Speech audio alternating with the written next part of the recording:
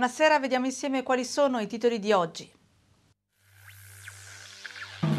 Aeradri ha presentato una nuova domanda di concordato e i legali hanno chiesto la sospensione del fallimento. La conversione dei crediti in azioni potrebbe valere già 20 milioni. Sarà il viceprefetto Clemente Di Nuzzo il commissario del comune di Sant'Arcangelo dopo le dimissioni del sindaco Morri. Da domani nei cinque locali del Marano attivi i tetti suono, le nuove attrezzature che dovrebbero ridurre i rumori molesti. Per chi sgarra c'è la chiusura. Calcio, Rimini deferito alla disciplinare, in arrivo una multa da 30.000 euro. Riparte su Icaro Sport calcio d'estate, stamattina la presentazione. Ben ritrovati in studio. Poteva essere dunque il giorno del De Profundis per l'aeroporto Fellini e invece dal Tribunale di Rimini eh, sono arrivate notizie incoraggianti. È stata presentata infatti una nuova domanda di concordato e i legali hanno chiesto la sospensione della procedura di fallimento per Aeradria. La conversione dei crediti in azioni da parte di banche, Carim in testa e fornitori potrebbe valere già 20 milioni. Vediamo. Dopo la delibera arrivata in nottata da parte del CDA di Aeradria, questa mattina è stata consegnata alla cancelleria del Tribunale di Rimini la seconda richiesta di concordato. Contestualmente i legali hanno chiesto nell'udienza prefallimentare di sospendere la procedura di fallimento in attesa del verdetto sul concordato, una sospensione che viene ritenuta quasi automatica, questa mattina il clima in tribunale, a differenza delle passate udienze, era più disteso e lo stesso presidente Masini si è lasciato andare con i cronisti ad alcune considerazioni ottimistiche. La svolta, ha spiegato, è stata l'assemblea dei soci del 12 giugno. La conversione dei crediti in azioni potrebbe essere decisiva. Aver avuto queste consistenti conferme da creditori, banche e fornitori con la cassa di risparmio in testa, credo che si possa dire, le notizie di stampa, degli incontri ci sono stati, quindi inutile fare misteri, ha avuto un ruolo decisivo anche in questi ultimi giorni. Secondo me eh, già oggi l'importo delle posizioni debitorie che si vanno a chiudere con la conversione sono molto significative, potremmo essere attorno ai 15 oggi, si potrà superare i 20 milioni, io penso proprio l'apertura da parte dei creditori e la novità della nuova domanda di concordato.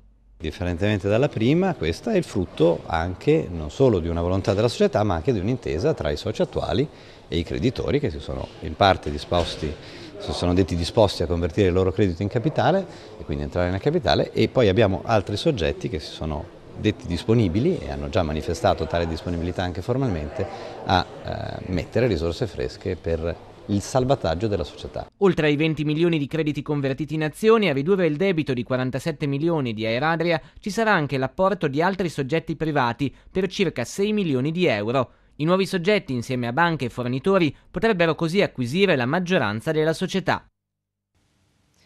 Un diciannovenne è stato trasportato questa mattina in gravi condizioni all'ospedale di Rimini in seguito a un incidente avvenuto in via Marecchiese all'altezza del civico 258. Il giovane a bordo della sua moto si è scontrato con un'auto per cause in corso d'accertamento da parte della polizia municipale. L'impatto è avvenuto poco prima delle 8 di questa mattina sul posto un'ambulanza e un'auto medicalizzata.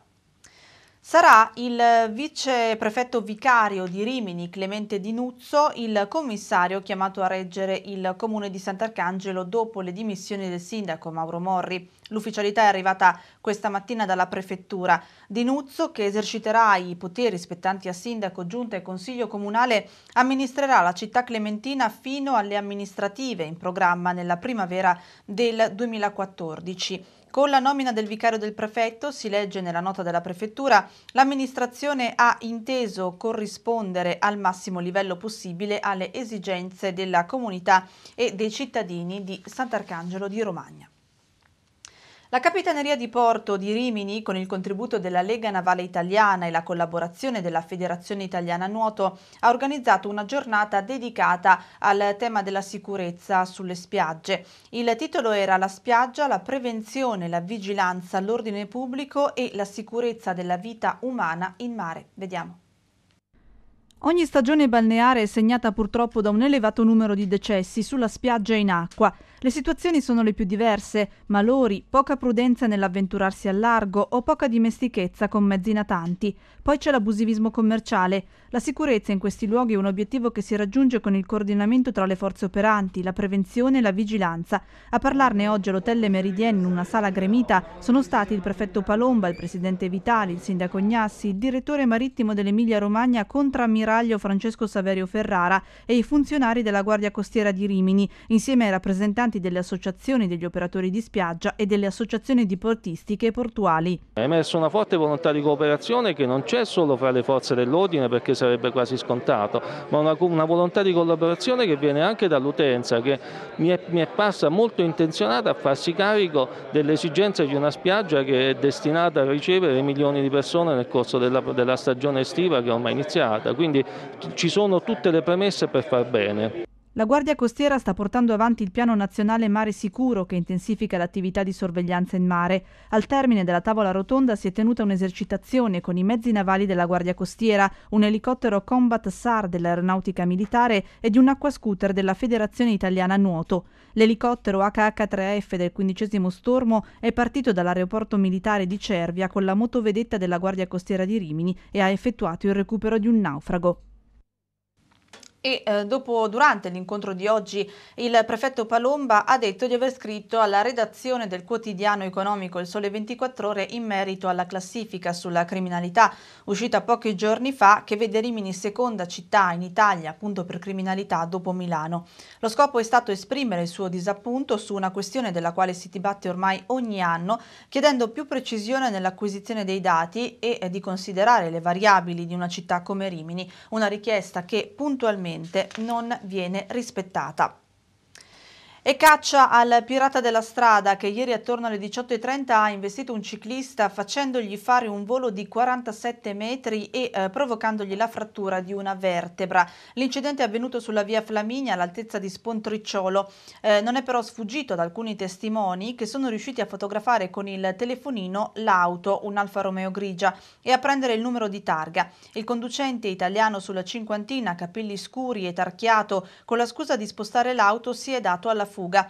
Dalle indagini della Polizia Municipale di Riccione è emerso che le forze dell'ordine erano già sulle tracce dell'uomo responsabile di diversi tentativi di truffa. L'auto risulta intestata ad una donna. Il comandante della Polizia Municipale Graziella Cianini invita le persone che fossero in grado di identificare l'uomo a telefonare al comando. Il numero è 0541 649444. E saranno attivi da domani sera nei cinque locali del Marano i tetti suono, le nuove attrezzature che abbassando le emissioni sonore dovrebbero ridurre l'annoso problema dei rumori molesti nel cuore della notte. Sentiamo. Chissà se il prossimo fine settimana il centralino della Polizia Municipale di Riccione tornerà a squillare per denunciare rumori al Marano. Sarà infatti il primo test per i tetti suono che i cinque locali della zona hanno installato per ridurre le emissioni sonore. Installazione prevista dall'accordo stilato con il comune con un duplice obiettivo: sostenere attività importanti per il turismo della Perla Verde, ma soprattutto salvaguardare residenti e turisti alla ricerca di riposo. L'avere montato i tetti suono credo crediamo, crediamo veramente di, di, dare dei risultati di eh, emissioni sonore soddisfacenti per i residenti e gli albergatori. E quindi togliere quello che era un punto negativo rispetto a tutto quello che invece sono i servizi che offriamo sull'area, all'intrattenimento che certamente è un grosso valore aggiunto all'offerta turistica riccionese. In cinque mesi siamo riusciti insieme agli enti esterni e all'amministrazione a rilasciare tutte le autorizzazioni necessarie, dall'altra parte ovviamente gli operatori fare gli investimenti utili.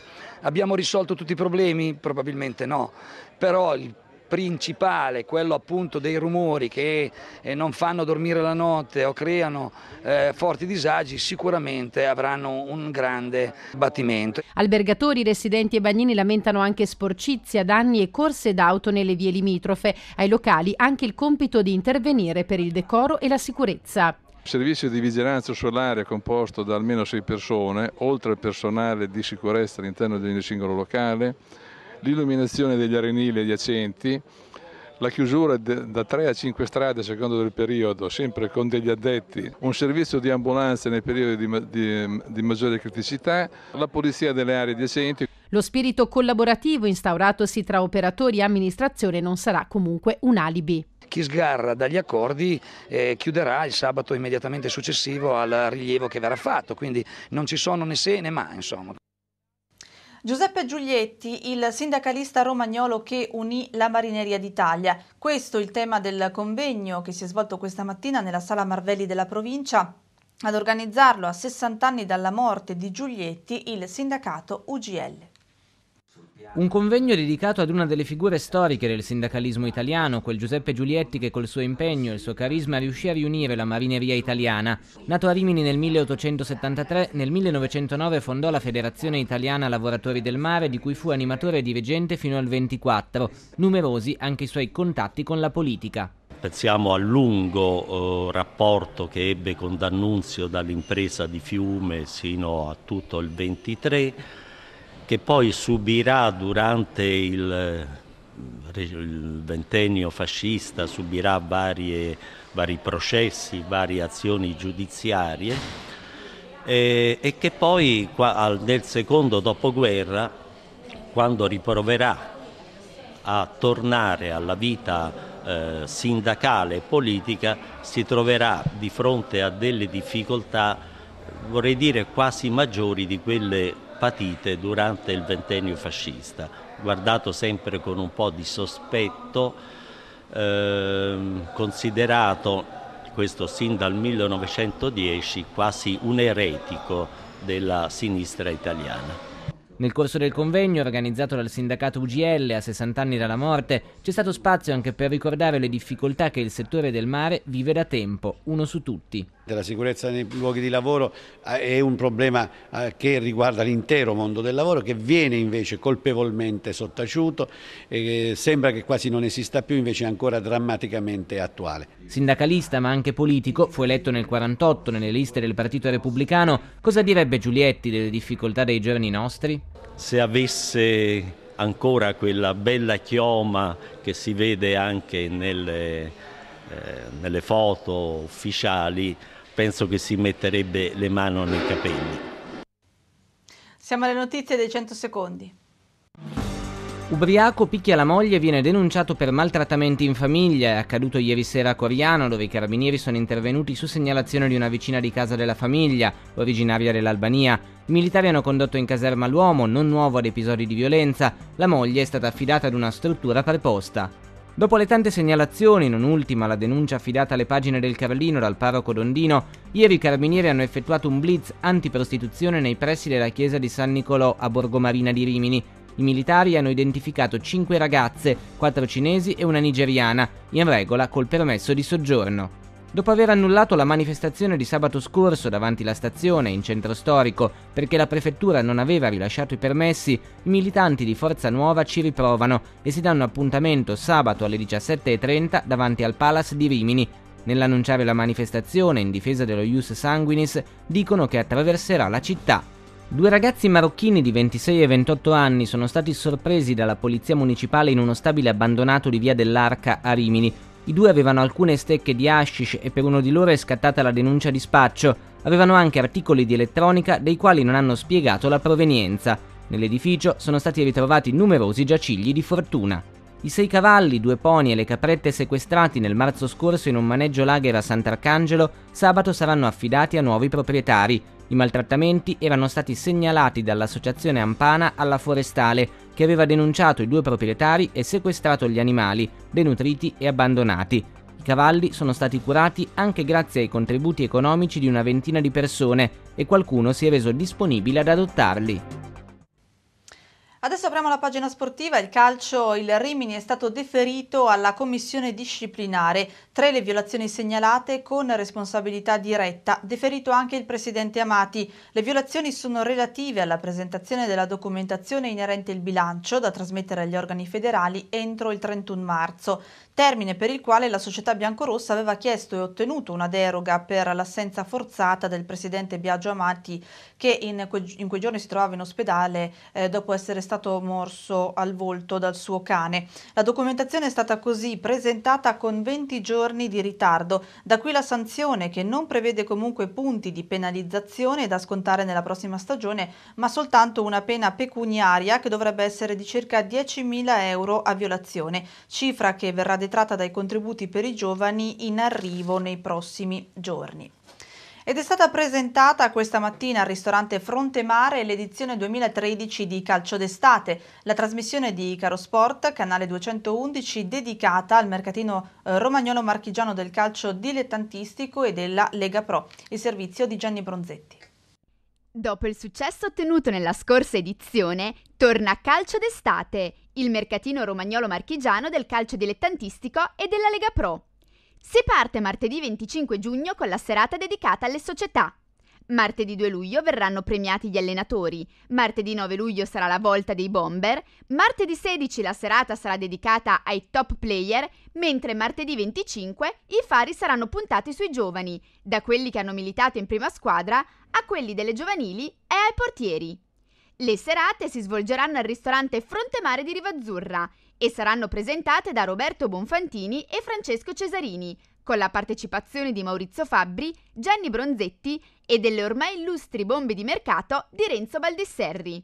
Tutte le puntate saranno riprese da Icaro Sport, canale 211 e trasmesse il mercoledì sera alle 21. Un appuntamento eh, ormai tradizionale, pensate eh, Calcio d'estate è nato fondamentalmente da un'idea di Marzio Cesarini nel 1981 all'EDG eh, quindi insomma ha una storia alle spalle eh, davvero importante. Andiamo quest'anno a premiare nella prima serata che sarà martedì 25 di giugno le società, società intese come diciamo così organizzazione, qualità, eh, stile anche organizzativo sicuramente ma anche eh, nel settore giovanile. La trasmissione come ben sapete che poi va in onda il mercoledì alle 21 si compone sia di quanto accade sul palco ovvero il momento delle premiazioni che poi di quello che invece accade eh, attorno ai tavoli dove ci sono le vere e proprie trattative di mercato e quindi avremo anche, eh, a parte le bombe di Renzo, eh, anche le news in tempo reale appunto a seconda delle trattative.